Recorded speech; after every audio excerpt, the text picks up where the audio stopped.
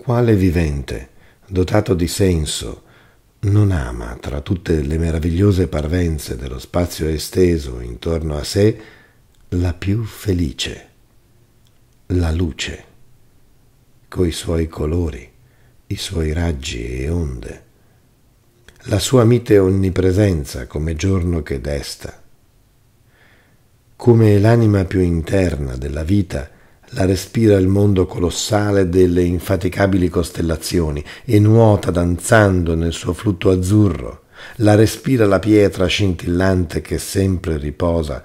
la pianta sensitiva che sugge e la bestia selvaggia ardente, dalle molte forme, più di tutti però, il magnifico straniero, dagli occhi pieni di senso, dal passo librante e dalle labbra ricche di suoni dolcemente schiuse. Come sovrana della natura terrestre, essa chiama ogni forza a innumeri permutazioni, annoda e scioglie vincoli infiniti, circonda della sua immagine celeste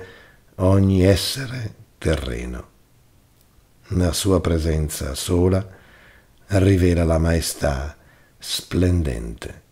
dei regni del mondo.